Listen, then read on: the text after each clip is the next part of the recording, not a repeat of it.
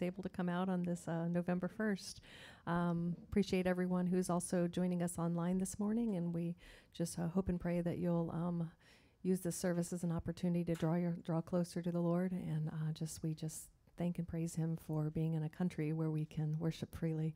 And uh, with that, we start out our call to worship, uh, which is Hebrews 12, 1 through 3.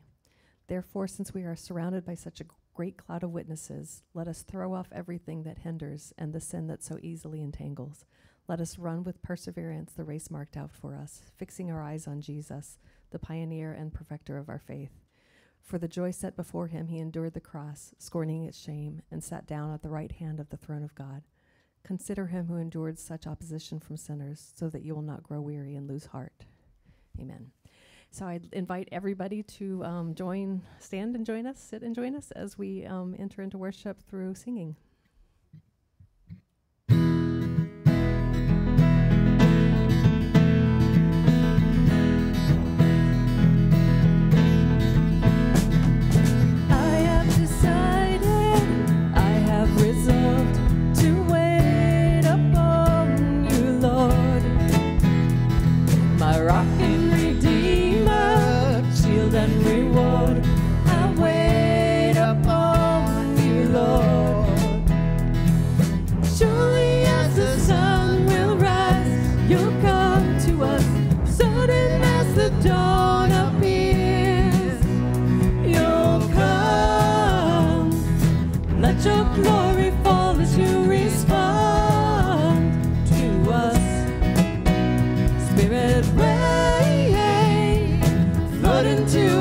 Thirsty hearts again.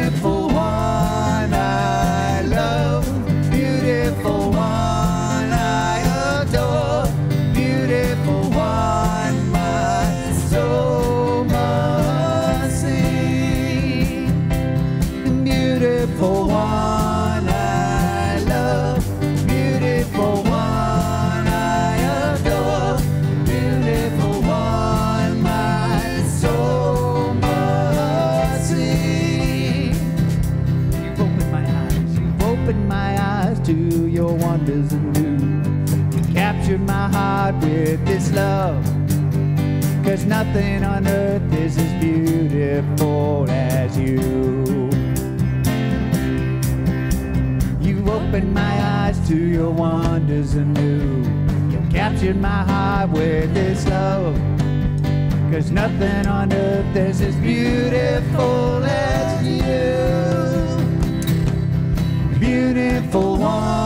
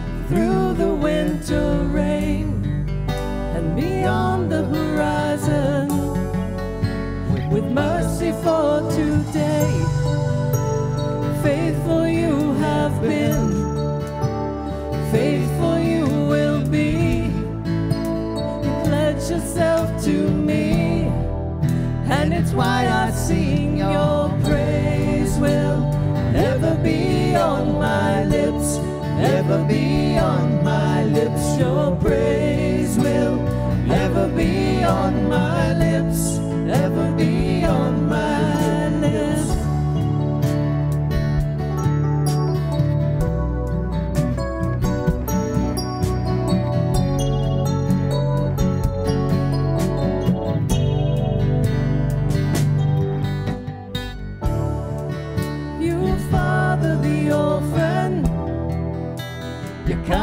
makes us whole. You shoulder the weakness, and your strength becomes our own.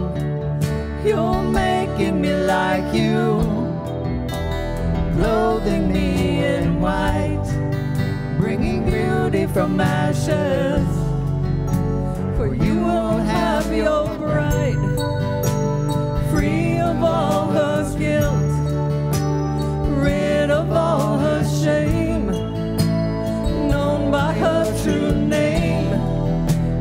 why I sing your praise. Will never be on my lips, never be on my lips, your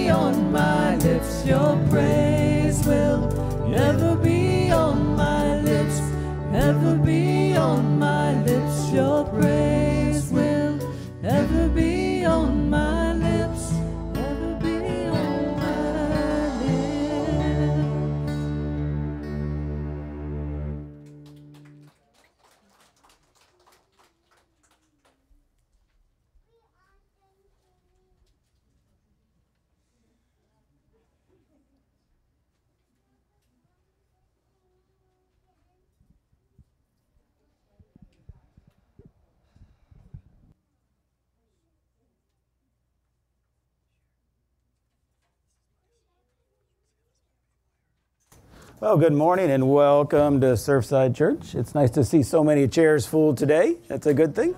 Hey there, how are you? All right, uh, just a couple of announcements to touch on with you. Are you going to help me with announcements?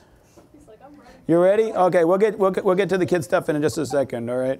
Uh, just a quick note: there's a governance board meeting next Sunday after church.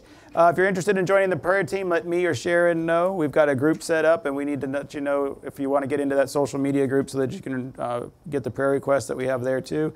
We have the drive-in Christmas event coming up on December 19th. Uh, someone had asked, "What is that?" What that what a drive-in means is that uh, the folks who are coming are going to be staying in their cars, so that we keep the social distancing and whatever the physical distancing that everybody needs. Um, we'll, and we'll be able to bring refreshments to people at their cars. We'll be able to, uh, if we have gifts and things, we'll put them in the trunk or give them to them in their cars. And we're going to have it's going to be in the evening from six to eight. So we're going to have lighting set up out here to try to make it a winter wonderland for the kids, make it kind of cool. And uh, there, Santa will be here too, where they'll be able to drive through. And it, we'll probably we're going to try to have other activities here also where they're going to be able to leave the car and go do that activity and then come back to the car but and maintain everything that needs to be done. But it's all outdoors basically and we're setting it all up outside. And we've gotten uh, property management is excited about it and so we've got their full blessing for it and so we're good to go. So if you want to be part of that just let me know. We're, we're building the team. We're getting everybody involved. All right? And then uh, wednesday bible study is on for online and youth don't meet this week um, but we will meet next week, the second Thursday of November, and we're meeting at Community United Methodist Church. Uh, again, we're meeting in person.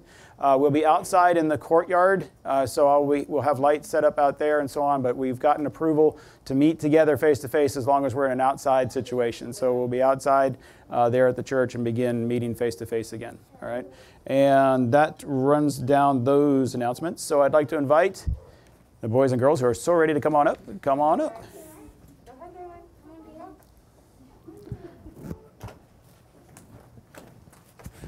And you are definitely ready to come on up. Your mask is contagious. All right. You're, su- you're Superwoman? Superwoman, Superman? And you, and you, and you? Oh, you guys are so excited. I'm glad you are. Okay. Take one step back here. I'm going to step them back from it. Yep. Okay. Right back here. Give me just a little bit of space. There we go. All right. Now, I want to talk to you about what is up here. Let me shift to this side, okay? Can you tell me what these are? Candles. Don't touch them, just look. Candles, I know. And look at that. They're all stacked up and all kind of lined around and all that. We have candles here. I want to tell you what they're for. All right. Today, on the first Sunday of November, it's All Saints' Day in the church. And we remember everyone who's gone to be with Jesus since the last All Saints' Day that we had from the year before. So for all year long, we remember people and we light a candle for them today to remember those that have gone to be with Jesus. All right. Yep. So I and they live forever with Jesus, and then we look forward to the day when we get to go join Him. We're not in a hurry, but we look forward to the day when we can go join Jesus and join our friends again and see them again. So that's what these candles are for here today, is that they are, remind us that they're alive with Jesus, and that we will see them again one day because Jesus is alive. All right. All right. Let's take a moment and let's bow our heads and let's pray together. Okay. Jesus, thank you that you love us, and Jesus, thank you that those that we love are with you and they're with us here. Thank you that one day we'll see them again when we go to heaven. And thank you that you're watching over us so we don't get there too soon. And Jesus, thank you that you see us and watch over us every day of our lives. And we thank you that you are the light in our life and that we can let our light shine for others. In Jesus' name we pray. Amen. All right, thank you. Who's that guy with the beard? I think that's I think you need to ask Mr. Tim or Miss Abby. They might be able to tell you. Ooh. All right. All right, you guys can head off to Children's Church today. There you go.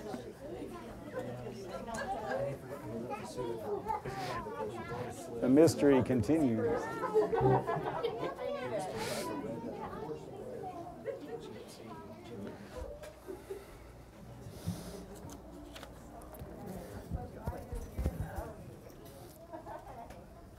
All right. And be in prayer for uh, Miss Jillian because now we have a full kid crew back there. And boom, they're going. It's nice to see all the kids back. All right, we, we might have to like build out the back here in order to keep adding space. Uh, this is All Saints Sunday, and so today we all, like I mentioned to the children, we do have candles lit here to uh, to honor those who have gone to be with the Lord since our last All Saints Sunday. And I have several names to read off to you, and so I'm going to read those names as we remember uh, the different folks. Uh, first, uh, as we go down through the list, they're printed on the front of your bulletin there too. But we have Dominic Sardone. Uh, he actually he went to be with the Lord last November, just after we had done All Saints Day. All right, uh, Augie Hernandez, uh, John Steen, Eli Warren, Michael Martin, David Vatula, and then we have added two this morning. Uh, one is the daughter of Peter Marshall, uh, Morris, Peter Morris, Peter Morris. And then the other one is Billy. If you remember, uh, Joe had asked for prayer for Billy last Sunday, and then Billy went with, to be with the Lord Sunday evening. So uh, that candle also represents him as well. So we hold them dear in our hearts. Christ is holding them dear to a person today, and we will be reunited one day. We will be. Um, they live with Christ, and we live in Christ, and one day we'll be reunited and never be parted again. Let's pray together. Jesus, we thank you that you are life and that you are light. And we thank you that we find our life in you as we live here. Lord, we thank you that they have finally met you face to face and you've answered their questions and you've been there and they see you in your full glory, in your full peace, and experience your full love. Jesus, we thank you for how these folks have given of themselves and how they've transformed lives around them. And we thank you for the, for the love, the memories, and the, the, the treasures that we have in our hearts from each one of them. So, Jesus, thank you for your love that's around them. Thank you for your love that's around us. And, Jesus, thank you that you are with us each and every day in this life and in the life to come. It's in your name we pray. Amen. Let us continue in worship even as we remember them. Let us continue in our worship, offering ourselves to God and our gifts to God. Let us offer our offerings to Him. You have left me to the sadness. I have carried this pain on a back bruised, nearly broken. I'm crying out to you. I will sing of your mercy that leads me through valleys of sorrow, rivers of joy.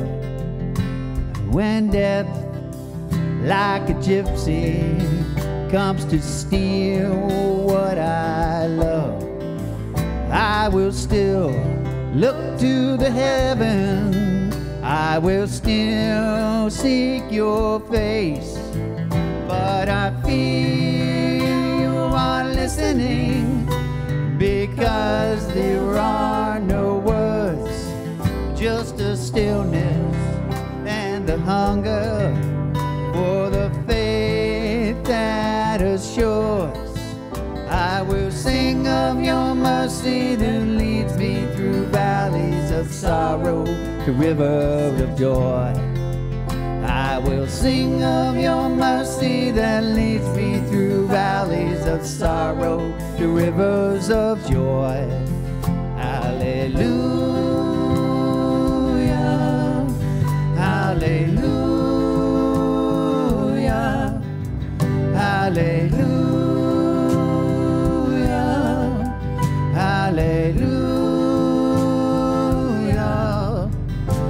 We wait for the rescue with our eyes tightly shut, face to the ground, using our hands to cover that fatal cut.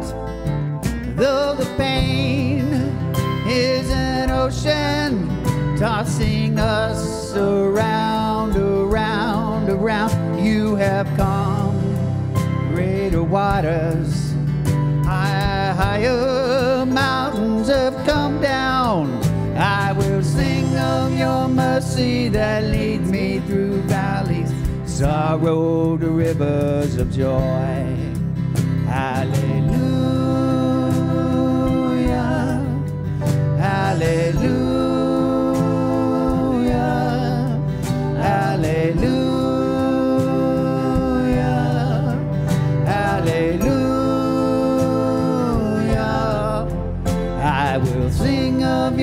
mercy that leads me through valleys of sorrow to rivers of joy.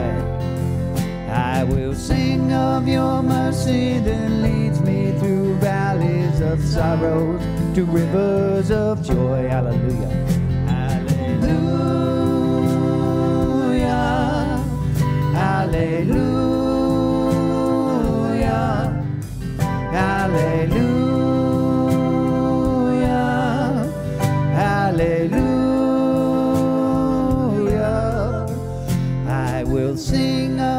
Mercy that lead me through valleys of sorrow to rivers of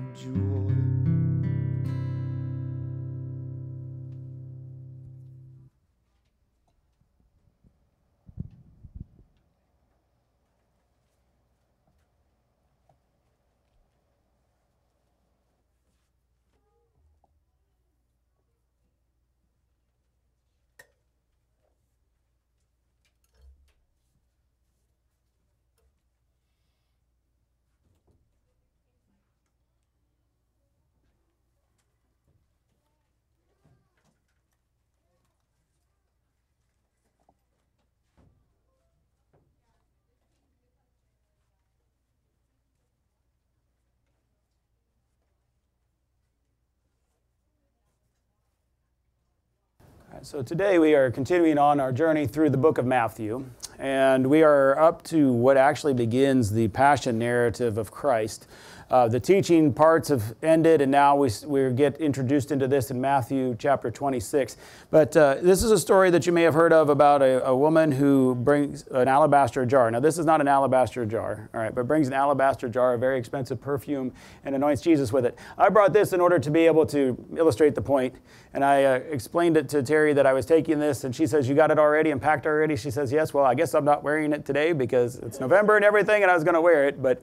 Um, this is actually a bottle of cool water, no product plug or anything like that, but this is a, her, a perfume that she wears. And she first started wearing this uh, October, November, whenever she and I were out on a, a trip, way back before children, uh, but we were on a trip to Niagara Falls.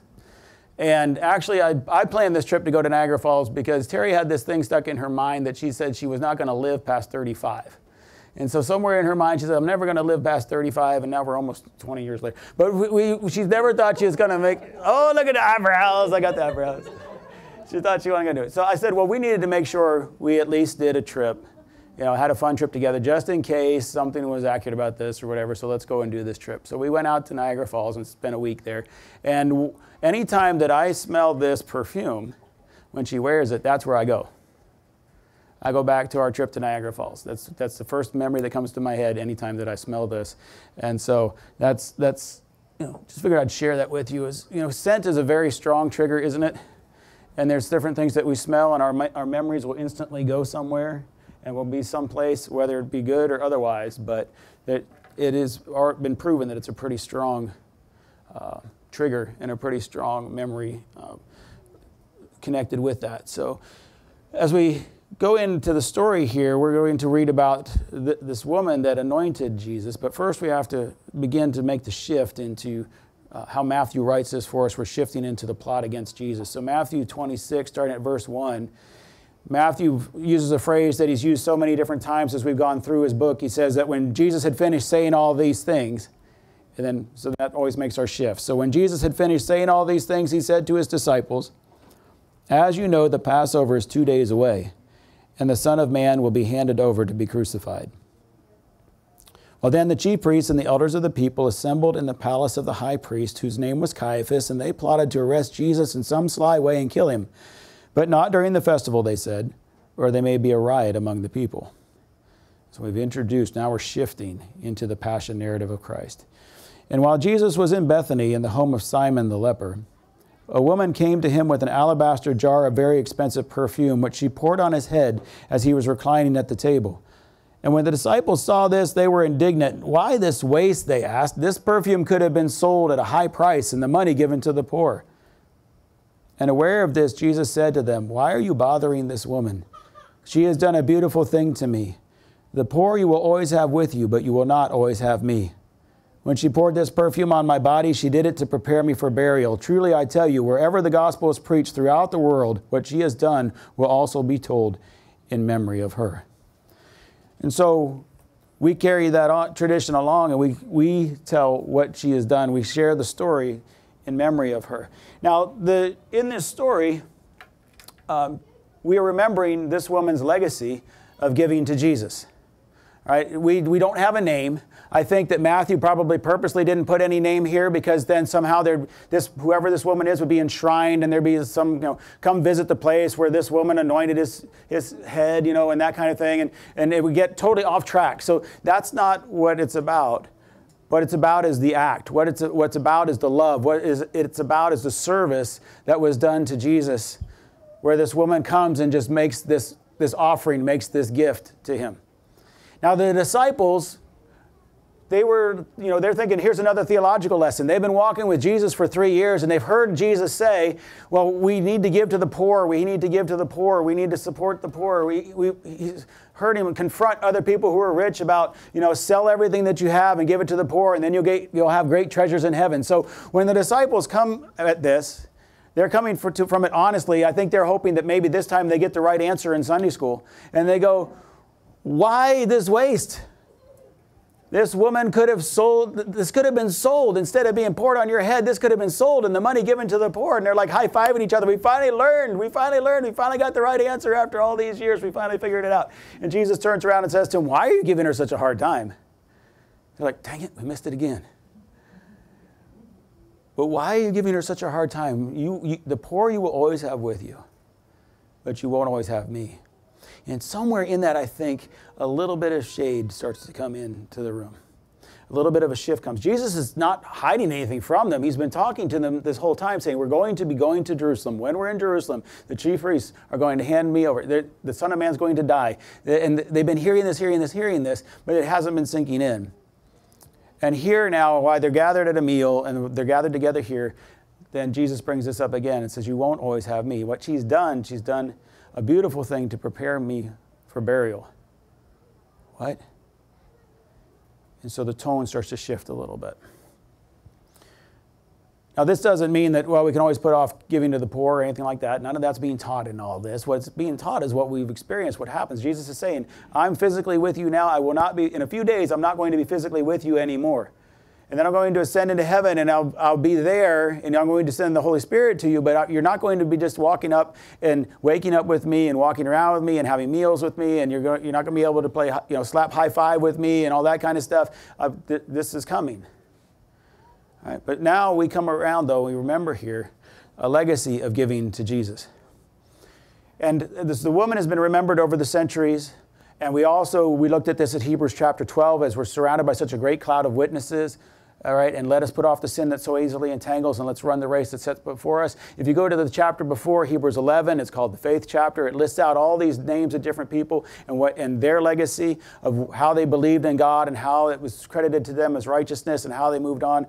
And as we remember our loved ones who are represented by candles on the table today, or have been represented by candles on tables in churches in years past, or just remembered in our hearts that we've had. What we remember the legacy that they leave. And for those in Hebrews, part of what's there is they, they gave and they believed God and they walked with God and they had loss and they had victories and they had loss and they had victories. They had laughter, they had tears, they had persecutions, they had death, they had d- miracles, they had all kinds of things. But they were still waiting for what was promised to come. And this woman that comes and anoints Jesus, she's in, in this part in her story and her legacy is there, and she's still waiting for what is to come.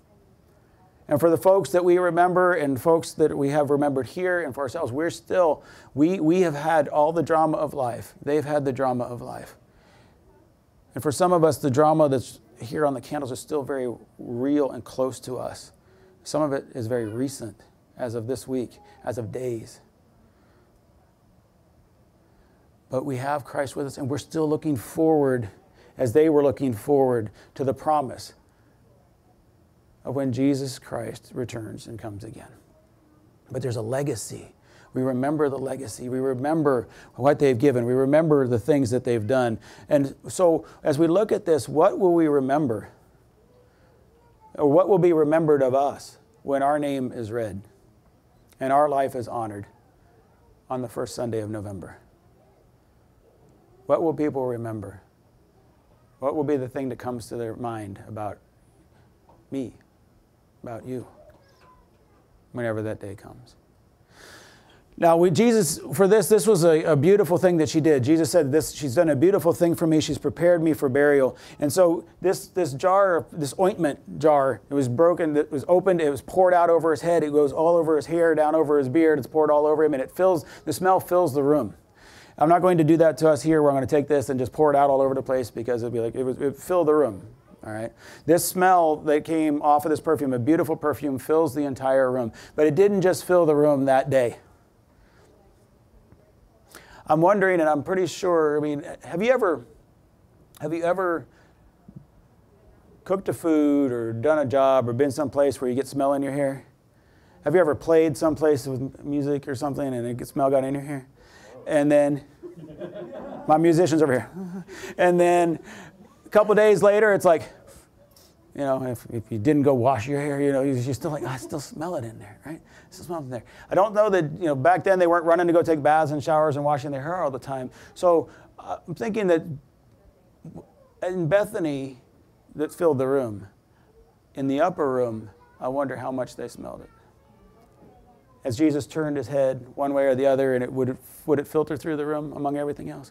As Jesus knelt in front of each disciple and washed their feet, were they smelling it come on off his hair? And their mind was snapping back to a few days ago. Whenever they went to the garden and Jesus was praying, and he was saying, Lord, if there's some other way, if there's some other way for this to happen, and the sweat started coming and like drops of blood falling off of him, I wonder if as he's in agony with his God, as he's in agony with his heavenly Father, and he's pleading for some other way for this to come around, if there wasn't any kind of comfort as the breeze would blow through his hair and come across, and he'd catch a whiff of that, and he'd remember just a few days ago when things were so much quieter, relatively speaking in that home in Bethany. And then, as he was brought to trial and he's arrested and he's standing before the, the, religious leaders who are making all these different accusations at him and so on, and as they're slapping him in the face, I wonder with the slap that came, whether some of that perfume came across and he was able to smell that.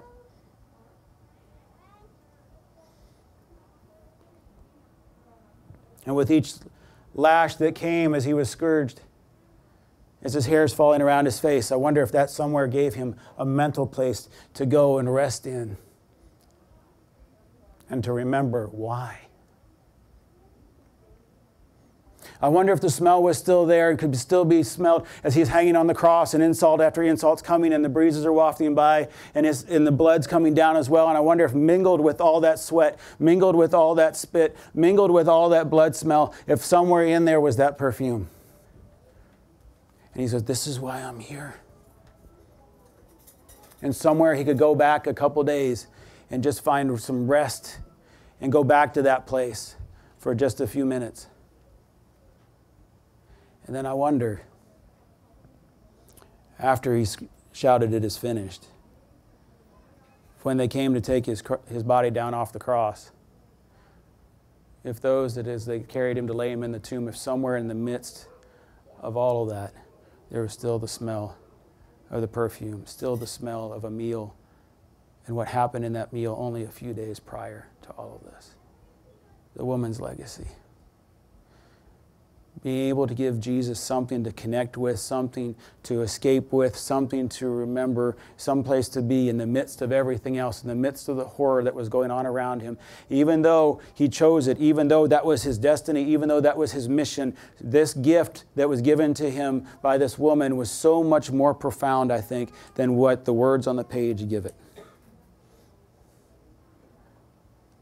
And yet it was such a small thing. I mean, it was huge in cost yeah, this, this, this perfume was expensive stuff. The jar itself was very expensive.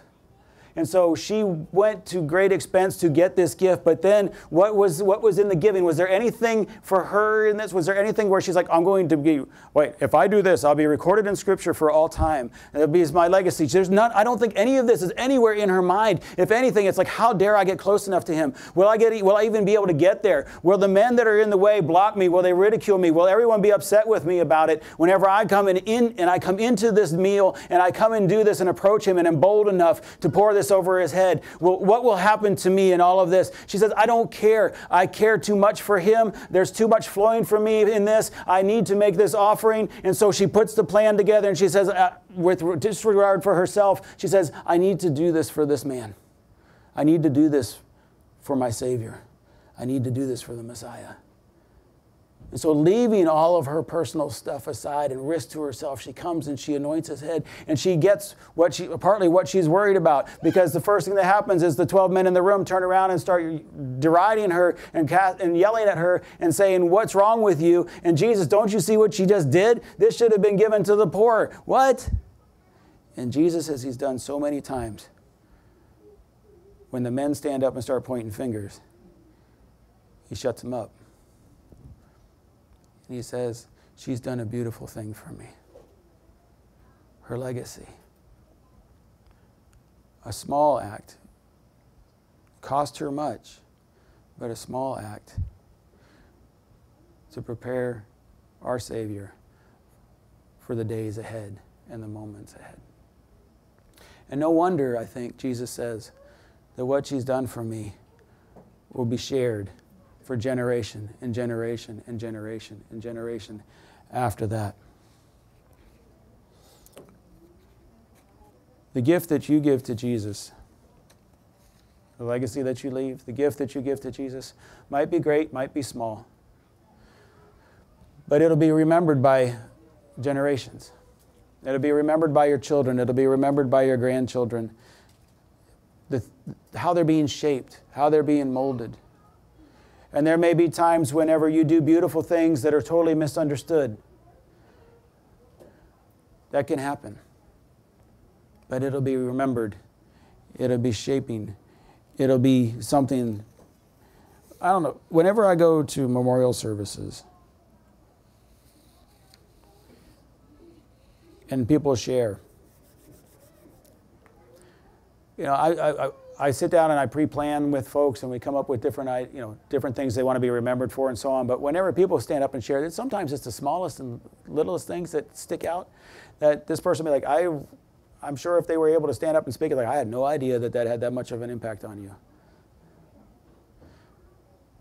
So even the littlest things that we offer to Jesus make big differences. The gift that you give to Jesus may only be remembered by one person, by one person maybe. But when would that memory come? Maybe that memory comes in a key moment of despair, even as the perfume came across Jesus' nose in the time whenever he was in the middle of all that despair that he was going through. Maybe it comes through in a key moment of despair and brings hope. Brings hope. Like I said, I don't think the woman in this story had any idea that her act would be included in the scripture to be read for thousands of years. It wasn't her goal, it wasn't her ambition. It was simply to honor, to serve, and to care.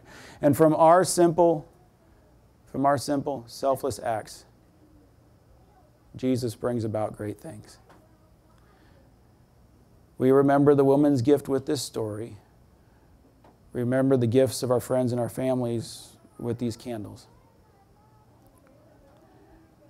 I remember my trip to Niagara Falls.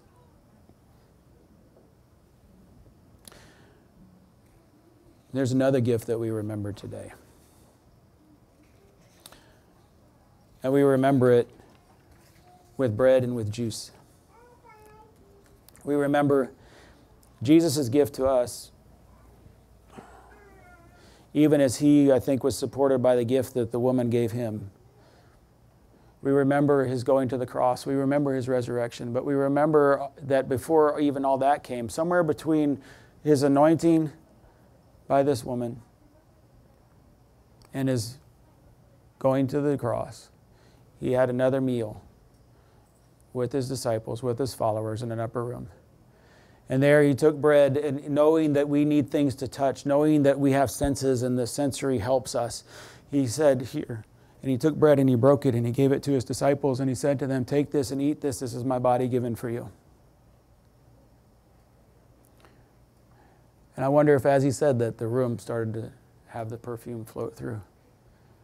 And then he took the cup and he said, and he gave it to them. He said, Take this and drink from this, all of you. This is my blood poured out for you. And they took and they drank. Even as the sense of smell, with all the other senses in the room, pick up the smell of the woman's offering from just days before. And so today we remember Jesus, the gift of Jesus. We remember it by taking the bread and taking the juice. And again, today we're going to be doing this in a way that tries to keep us all safe. So uh, we'll have, uh, we use hand sanitizer here to sanitize my hands. We'll have individual pieces of bread. We'll have individual juice cups for everybody. If it's, if, and I'll take it to you where you are. If it's something that you don't want to do, it's okay. If you're concerned about things, no, there's no problem. But if it is something that you want to take, then we make it available to you. All right. Let's have a word of prayer together. Lord, we thank you for that you are a giver.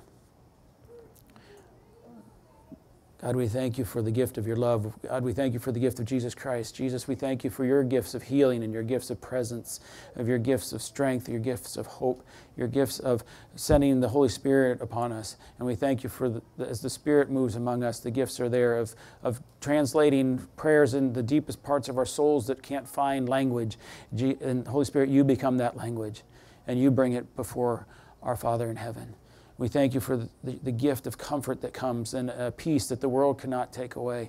We thank you that that comes from you as well in the gifts. And we thank you for the gifts of the bread and the juice that we're going to have. Lord, we thank you that, that it can be for us remembering the body and the blood of Christ. Jesus, that we remember your sacrifice for us and your love for us.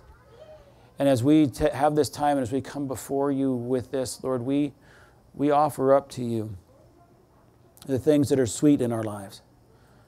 We offer up to you our praise and our worship. We offer up to you the, the acts of service that we have done.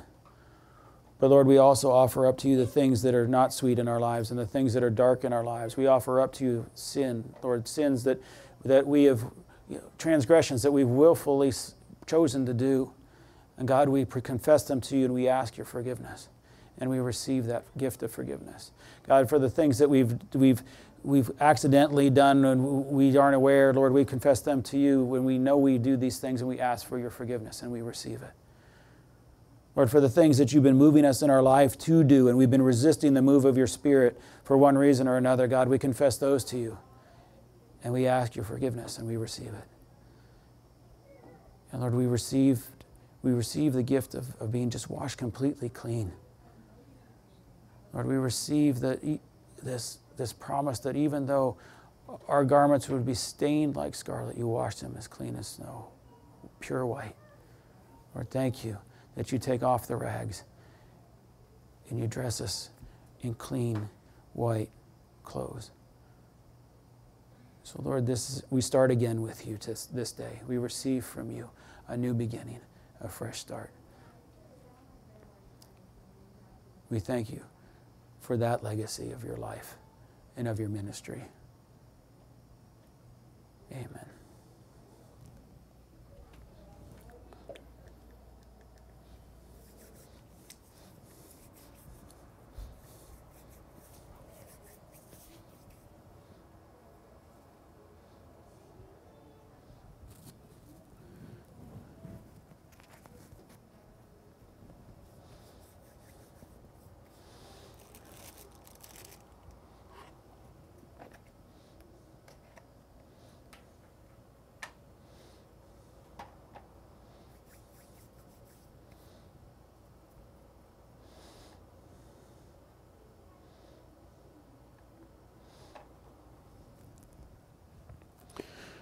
So Christ took bread and he broke it. And he gave it to his disciples. He said, Take and eat this. So if you cup your hands, I'll just drop it into your hands so that we don't have folks touching this. And I'll know who would like some and who says, Not right now.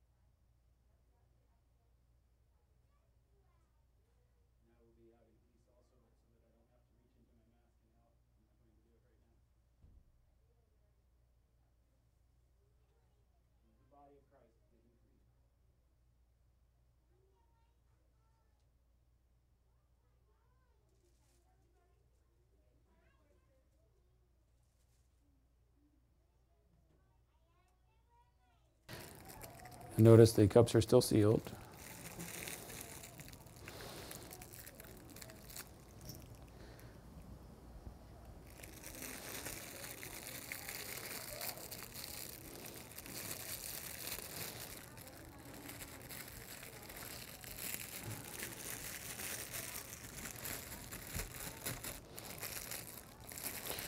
Oh, wonder what din- dinner conversation was in the upper room.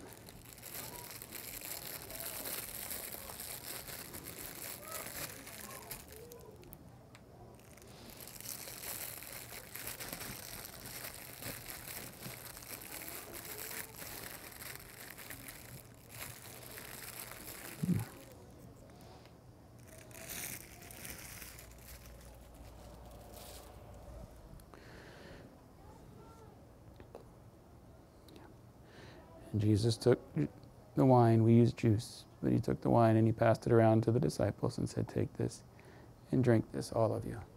This is my blood poured out for you for the forgiveness of sins.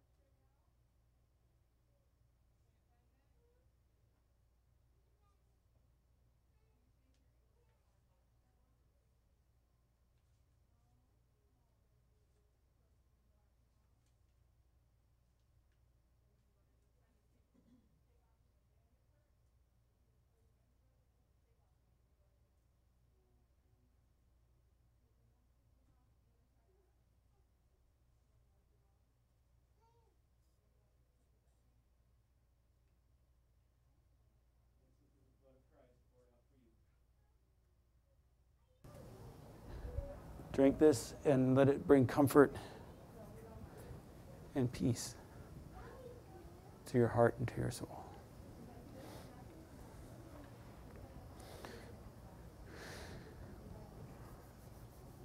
So we continue on in worship, uh, we use these last couple of songs to continue to be a way that we lift up our hearts to the Lord in thankfulness, in prayer, in praise, in listening. Uh, let this be a time of worship where we open ourselves up in just another way to continue to let the very Spirit of God move through us. And as He as He moves across us, uh, even as a perfume moves across the room, may the miracles that we need in our life begin to flow.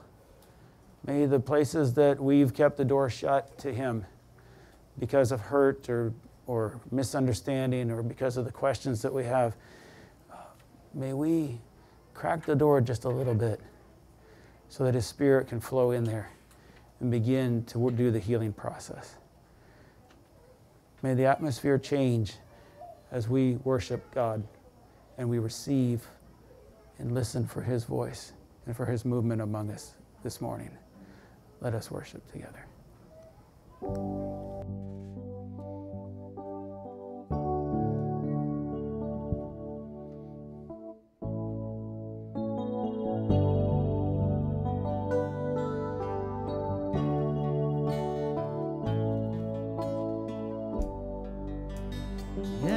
Atmosphere is changing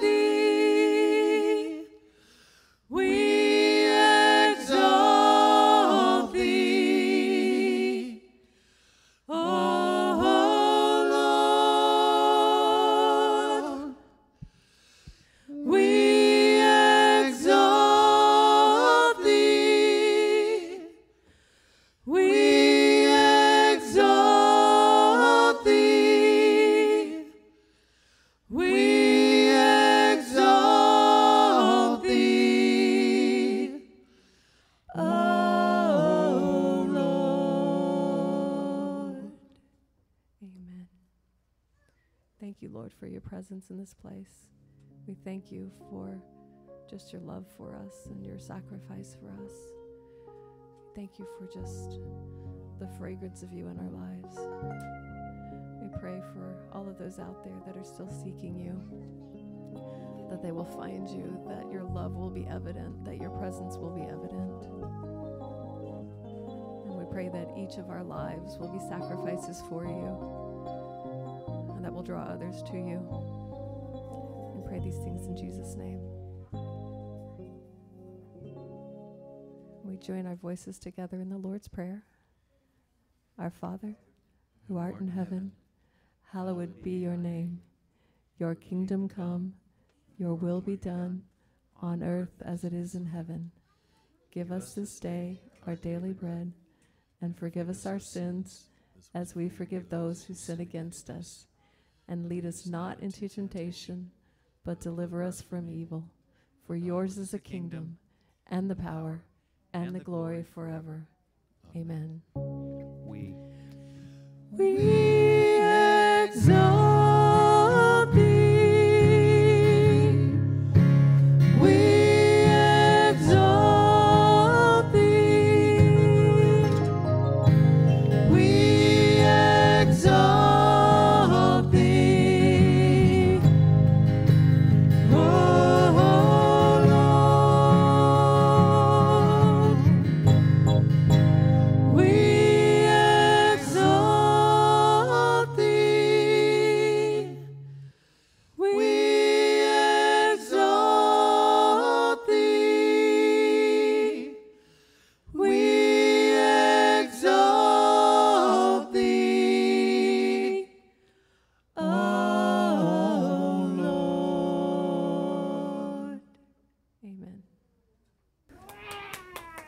Spirit of God has been with you this morning, and He goes with you as you leave this place.